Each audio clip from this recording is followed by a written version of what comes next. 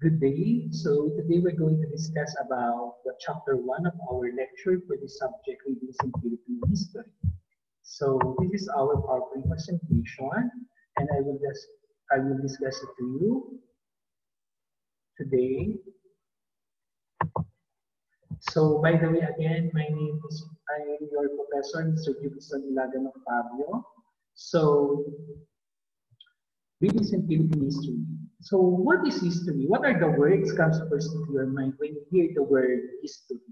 Oh, I know these are some words, no, na na very thing or that you imagine or you think when you word when you hear the word history.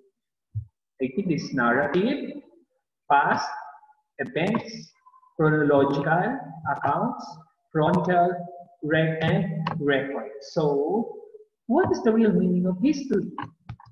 So, history is the study of the past and its legacies in the present in preparation for the future.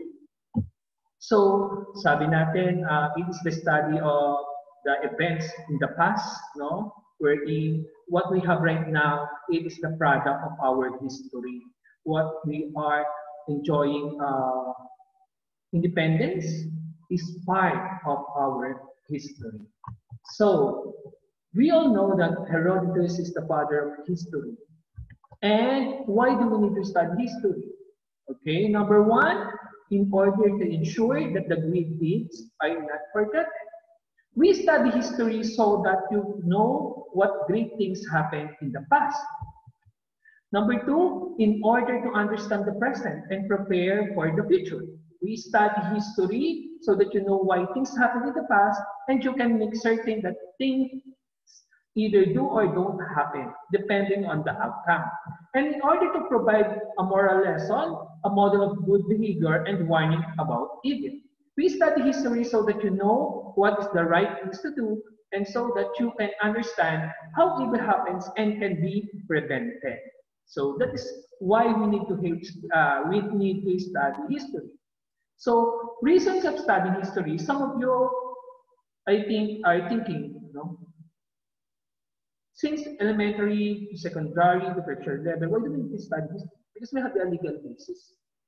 Our legal basis is that Philippines, in Philippines 1987 Constitution, it is injected in Article 14, no, Section 2, Paragraph 3 about education, science and technology, arts and culture and sports. Uh, according to Section 3, Paragraph 2, the state shall promote patriotism and nationalism. How the Philippines, how the government can promote nationalism and patriotism? Of course, by studying and teaching Philippine history, by injecting the Philippine history in different curricula from, from primary, secondary to tertiary level of education. So, in order to understand also, okay, what are the reasons behind the studying Philippine history? Number one, in order to understand the history of this nation, and to increase, of course, patriotism and sense of identity. In order to encourage civic participation and citizenship, in order to prevent prejudice, in order to appreciate arts and literature, and in order to foster a personal growth. Okay. What are the sources of history? So actually, there are two sources of history we have. We have the primary source and the secondary source. No? what is the difference between these sources? When you say primary source, basically pertains to artifacts and fossils. No? When you say artifacts, those are the materials used by early civilization, yung mga natitira nilang panga, yung mga libro na naiwan, yung mga naisulat. No? When you say uh, fossils, it pertains dun sa mga uh, remains of plants, animals, and humans. How about secondary sources? These are the newspapers, diary, books. Right now, those are the secondary sources of history. For more information, no, you can read your uh, module no, about the sources of studying history. So, we, uh, we have here some Filipino researchers or historians. We have uh, Renato Agoncillo, that suppose uh, he's the one supposed that our Philippine history is a, strong, uh, a story of struggle. No? Because according to Renato Constantino, there are a lot of struggle happening in our history. What we enjoy right now is the product of different, uh, the long story, no, before the coming of Spaniards down to the uh, end of American colonization. And, and uh, right after the American colonization, there are also struggles happen, no? Uh, until until the time of uh, President Marcos when he uh, declared the martial law, and after that, until now, we have so many uh, struggle, uh, so many uh, events, no, happen here in the Philippines. So, according to Felipe Landa Hocano, he is one of the prominent researchers or historian wherein he disputed the theory of migration by Henry Otley Bayers. Because when he discovered the Tabanman in Palawan, when they discovered the Tabanman in Palawan, no, he believed that there is a Philippine, that, that this Tabanman is not the product of the what we call theory of migration. How about Theodore Agoncillo? Theodore Agoncillo is a, is a Filipino historian and researchers wherein he based uh, his history the history na ginagawa niya based on the legal evidence and historical evidences. So, how about the geography of the Philippines? Okay. Minsan nag-isip tayo, paano nga ba sumipot ang bansang Pilipinas sa ibabaw ng mundo? We are thinking na, ano ba to? Bigla na lang ba siya sumibol sa ibabaw ng mundo, sa gitna ng Pacific Ocean? Bigla na lang ba siya napunta dito? Paano ba yung nangyari? Okay? There are some theories about the origin of the Philippines. Again, these are just a theory, meaning to say there are some facts that not, but not totally proven. Okay? So, first theory is that about the volcanic theory. Some researchers or scientists and historians believe that Philippines was as a result of the eruption of submarine volcanoes along the western side of the Pacific Basin. No? Hindi ka takataka yun because we are part of the what we call ring Pacific Ring of Fire, no? inside the Pacific Ocean. So uh, we all know that there are lots of volcanoes under the Pacific Ocean, no? and they believe that this when they volcano erupted, no, the lava ng mga tumigas, no, it is the country or these are the countries na meron tayo ngayon. Like Philippines, New Zealand, Japan, or lahat ng bansang pulong-pulo na nakapaligid sa Pacific Ocean. Okay, that's the theory of volcanic theory.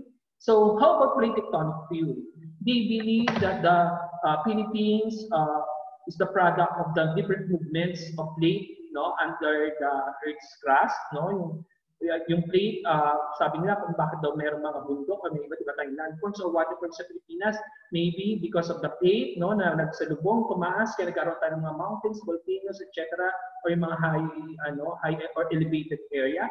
And meron namang pwede nagpatong na, kaya nagkaroon ng hindi, or pwede namang lumubog, no, parehong lumubog, kaya nagkaroon ng mga basins where it, uh, pinasok ito ng mga tubig. Kaya may iba't iba tayo ng mga waterforms. That is the theory of plate tectonic. How about the continental drift theory? When we say continental drift theory, they, be, they believe that the Philippines is part of what we call the Pangea. Yung sinasabi sa ng mga scientists na the big continent year, long, long years ago. So there, sabi nila, there is a big landmass or continent on the earth before, no? Na kung saan, because of the movement of the plates also, no? Sa ilalim ng mga lupa or ng, ng crust of earth, nagmumove siya. So habang nagmumove siya ng konti-unti, kada taon, yan naghiwa-hiwalay siya. Kaya sabi ng mga scientists, kaya kung makikita niyo sa mapa, yung ng mundo, it's like a puzzle. Para daw siyang puzzle pwede mong pagdikit-dikitin yung mga bansa, lalo na yung mga island, no? para mabuo ulit yung dating uh, tinatawag nilang Panglia. So the another theory is about the lost continent theory or the Lemuria. They believe that Philippines uh, is uh, the remains of the what we call Mu o Lemuria, no, na nag-submerge in the Pacific Ocean na kung sa during that time ng prehistoric era. So these are yung mga bansa doon na nasa paligid nito, ito daw yung mga bansa ito daw yung mga part ng ng ng Mu o Lemuria or yung Lost Continent na matataas na bahagi. Nung tumaas yung level ng water, ito na lang yung mga natira. Kaya we are one of the product of the Mu o Lemuria. Okay? So, another theory is about the land bridges theory. They believe that Philippines is part of of the what we call uh, mainland Asia. So, Palawan is connected to Vietnam. The southern part of Mindanao is also connected in in Malaysia or southern part of Brunei or Borneo. Then we have the here the uh, northern part is also connected to directly to China, no? what are those um, evidences ng mga scientists or mga historians? Bakit nila paniniwala, uh, bakit malakas yung kutub nila na we are part, that we are part of the mainland Asia? No? Kasi when they measure the level of water of Pacific Ocean and ng ating West Philippines or South, or South China Sea, uh, the level of water uh, ng Pacific Ocean is very deep rather than the level of water ng um, West Philippine Sea or South China Sea. So, kaya nga pa, sabi nila, mas mababaw daw itong si South China Sea kumpara kay West Philippine Sea. Kasi nga sinasabi nila na uh, si South China Sea, South Pacific Ocean, kaya sinasabi nila na itong part na to ng ano ng ng itong part na to ng ng West Philippine Sea or South China Sea na to, no? Sinasabi nila na dito daw kasi na matatagpuan yung mga land bridges yan na nung natapos yung ice age dahil nga nung natunaw yung mga yung ice during after the ice age no nung natunaw yung ice tumaas yung level ng water kaya nag-submerge or lumubog yung mga tinatawag natin mga land bridges na okay what are the other evidences when they found some um, materials or some fossils and artifacts na meron tayo uh, from here in the Philippines and also in our neighboring countries no? specifically in our uh, Southeast Asian neighboring countries like Vietnam, Laos, Cambodia. Okay, so there are different names given to the Philippines. No, Ptolemy uh, named the Philippines as Manolas or Beard of okay, which means land of gold. No, why? Because when they saw the Philippines or this part of the area of the Pacific Ocean, pag tumatas yung araw from the eastern part, kumikinang-kinang tong lugar na to. No? At alam niyo ba, kahit saan kasay sa kasaysayan natin, sinasabi na, yung gold ay nakikita lamang within the river valleys natin. So ganun tayo ka-rich talaga sa gold before. No? Bago pa dumating ang mga Espanyol o bago pa dumating ang mga mananakit natin. So the old Chinese, the Chinese also named the Philippines as Mai or Mai or land of volcano because of, there are a lot of volcano, active volcano here in the Philippines the Chinese trader uh, named the Philippines Lusang or island here in Asia. Japanese traders uh, named Philippines as Shinsan or Mountain of Gold. And Magellan named uh, the island of Summer and Leyte as Islas de San Lazaro. Remember, no? Um, when Magellan, no, so the island of Summer and Leyte, no, doon natin kasi that's the place of St. Lazarus. So when he saw the uh, the, the island of San Miguelito, he named it Islas de San Lazaro.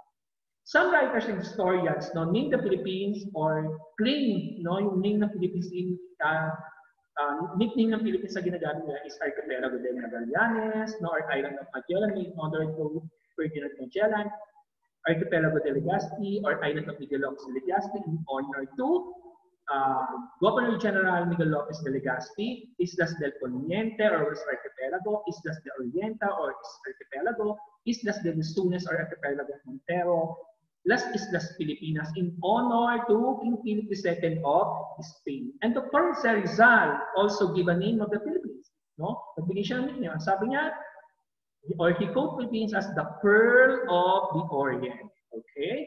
And right now, in our Philippine Constitution, the name of our county is none other than Philippines. Okay.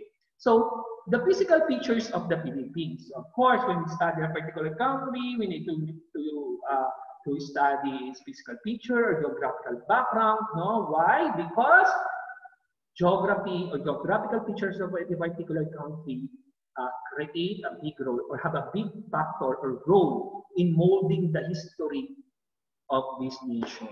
Okay? So, ways of determining the location of Philippines, actually, in geography kasi we have two only two, the absolute and relative location. So, relative location, we're divided, divided into two. We have vicinal location, no? When we say vicinal location, determining location based on the neighboring countries, no? In the northern part, sabi natin? And, uh, neighboring countries. So, for example, this is the map of the Philippines. Okay. For example, this is the map of the Philippines. Okay. Sabi dyan, vicinal location. We can determine the, the location and embassy or the location of a of the country, no? You can determine the location of a country based on the uh, based on the neighboring countries. For example, in the, in the situation of the Philippines, in the northern part we have, in the northern part we have Taiwan. Okay. In the eastern part, no, we have the eastern part, the nearest island here is Guam. What else? In the western part, we have, the nearest country here is Vietnam.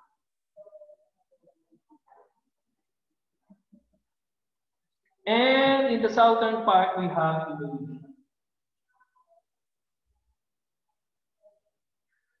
Okay. So, insular location, determining location based on the waterfalls and landforms that surround the country. Since this, the, the Philippines were surrounded only by water or waterfalls, no? Kaya makikita lang natin din lahat ay uri ng tubig or yung mga uh, anyong tubig, katubigan. Okay?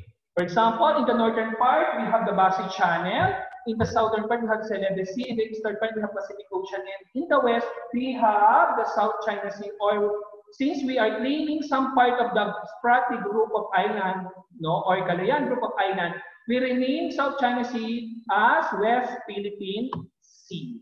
Okay. Another is the what we call absolute location. When you say absolute location, determining location based on the degree of latitude and longitude. What is the exact location of the Philippines?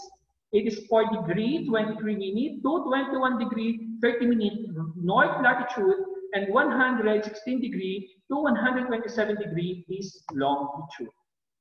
Facts. Do you know that Yami Island is the northernmost part of the Philippines? Yami Island is also known as the Maburis Island Okay, in part of the province of Batanes, that is the northernmost part of the Philippines. It is only 29 kilometers away from Taiwan or uh, about 30 miles uh, away from Taiwan.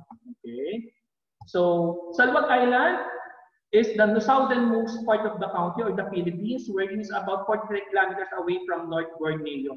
That is the southernmost part of the Philippines, Salwag Island. Okay, the location of the Philippines is important. Why? Because number one, it is the first Christian nation in the non-Christian Asian world. No?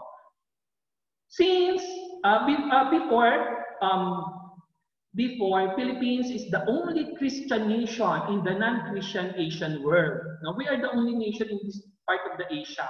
No?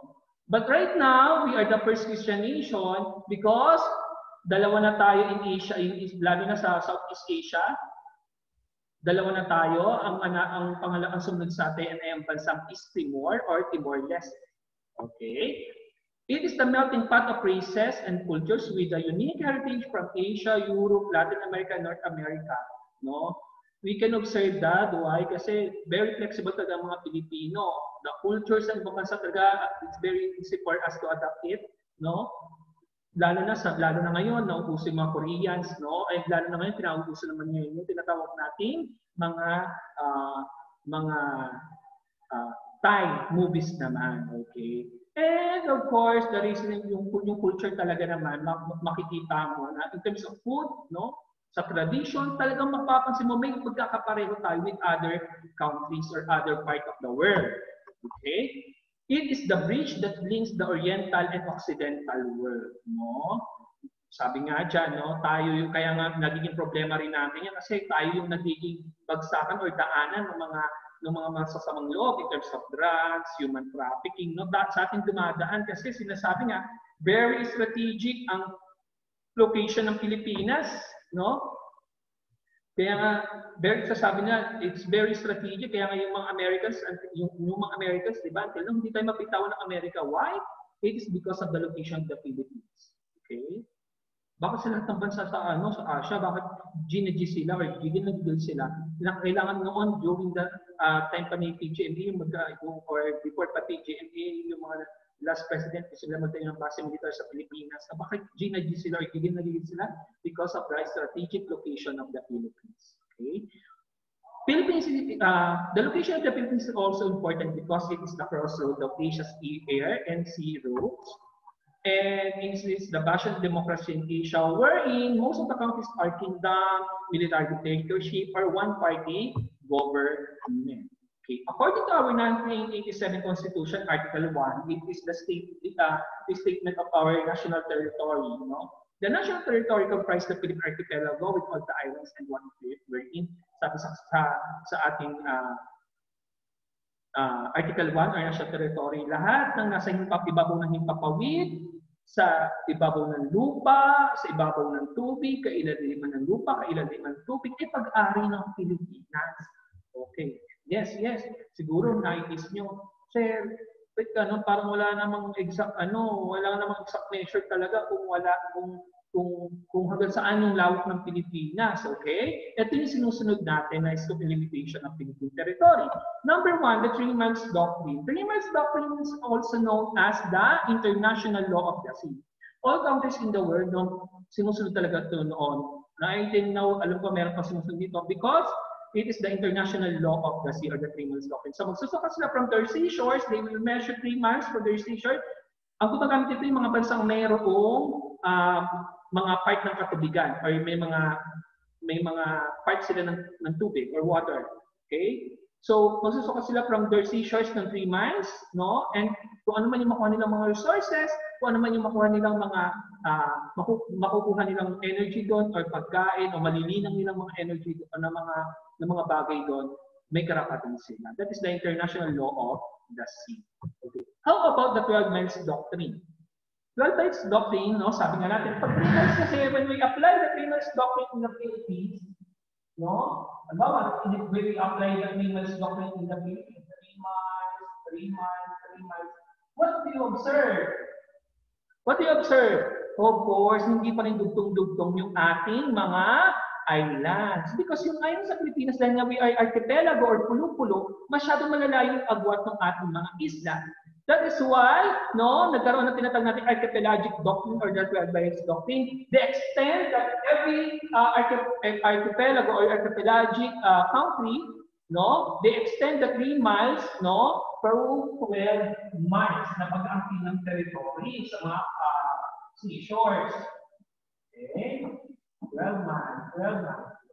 What happened in the Philippines? Hindi pa rin siya makukonek yung iba, lalo na yung Palawan, sobrang layo niyan from mainland Luzon and Mindanao. That is why, no, sabi natin magkakaroon tayo tinatawag natin mga open sea. Okay. What are the disadvantages of having this what we call open seas?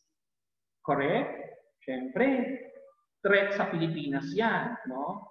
Pwede, unang-una dyan, yung drug trafficking, at yung pangalawa, yung human trafficking. Yes, madali nang, it's very easy for them to access no, the country, basta nagkaroon tayo ng internal waters within our vicinity. Okay? That is why sa United Nations nagkaroon tayo ng ng ano ng pag ng ng pag-usap kaya naman during the time of President Marcos na push yung tinatawag nating 200 miles doctrine o yung tinatawag natin or also known as the exclusive economic zone. So, as you can see on the map, map, no, you can see the Philippine map na ganyan ang linya.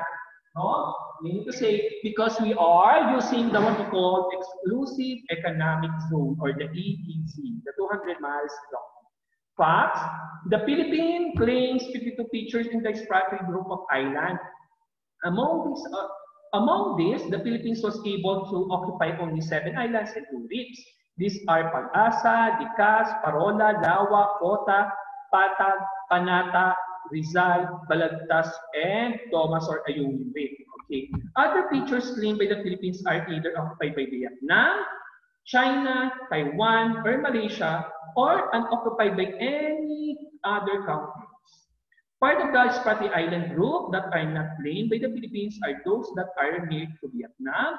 The farthest feature that's that it claims is Ladrip, which is nearer to and occupied by Vietnam. So let's proceed to our the regions of the Philippines.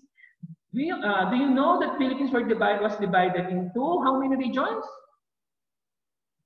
Oh, it's not 18. Okay, it's 17. Before kasi sabi natin, sir, di ba naging 18 na? Yes, but uh, President Duterte abolished that law or that bill na binalik niya, inabolish niya yung yung law na yan na pag-create ng Region 18 o yung tinatawag nating Negros Island region, no? He divided again the island, the Negros uh, Island in two parts, the Occidental uh, uh, uh, Occidental Negros Occidental or the western part went back to Region 6, no? And Region 7 naman itong uh, Negros Oriental, okay? Into Region 7. So, I, I will show to you the Philippine map, no? And we will discuss about the regions of the Philippines. Of course, the capital region of the Philippines is none other the National Capital Region. Okay. Okay.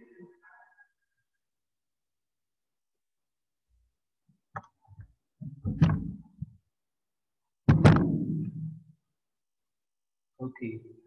As you can see, I have here the Philippine map. No? So we have the national capital region. Okay. So we have here the national capital region in Luzon. We have in the northern part of Luzon, we have the Cordillera Administrative Region or CAR. It composed of Apayao, Abra, Palinga, Mountain Province, Ifugao, and also Benguet. This is the mountainous part of the what we call Luzon Island, okay, in the northern part. We also have Region 1 in the eastern part of the Philippines. No, it composed of Ilocos Norte, Ilocos Sur, La Union, and Pam. That is in the western part of the Philippines. No, this is the Ilocos region or western part of Luzon Island. This is the Ilocos region or Region 1. We have Region 2. That is the eastern part of Luzon. We have Batanes. Northern, uh, in the north, we have Batanes, Cagayan, Isabela, Quirino, Nueva Vizcaya. Okay. So next one, we have region 2, uh, region 3, central Luzon or the plain, no, central plain of Luzon. We have, or it is composed of Aurora, Nueva Ecija, Tarlac, Zambales, Pampanga, Bulacan, and the province of Bataan. Okay. So, Region 4 was divided into two. So, we have Region 4A, 4A, and 4B. So, uh, for 4A, we have the Apunin Calabarzon. It is composed of the provinces of Rizal, Laguna, Cavite, Batangas, and Quezon. And Region 4B, we have the Apunin Mimaropa. Stands for Mimaropa stands for Mindoro Oriental, Mindoro Occidental, Marinduque, Romblon, and of course, the province of Palawan. Okay. So, we have here the, what we call region 5. We, region 5 is also known as the Bicol region or the Bicol Peninsula region. No, we have, this is the longest peninsula we have here in the Philippines, Bicol Peninsula region.